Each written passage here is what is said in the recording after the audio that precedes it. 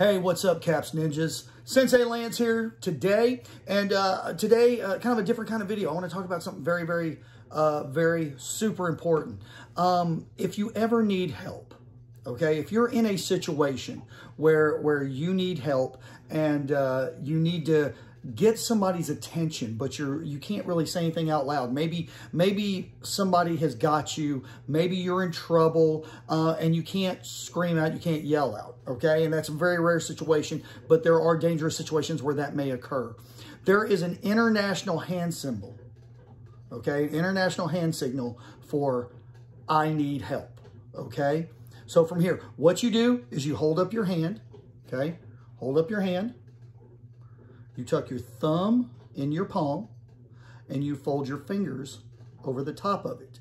That is the international signal for I need help.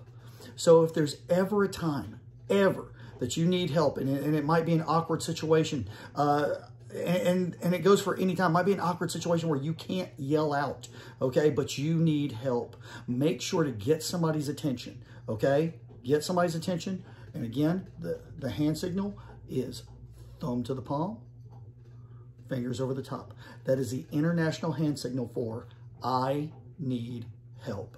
Okay? Please practice that. Please remember that. Parents, if you're in the room, parents, if you're hearing that, make sure to drill that with your child. Please make sure to drill it with your child. It can save their life. All right, y'all. Uh, have a great day.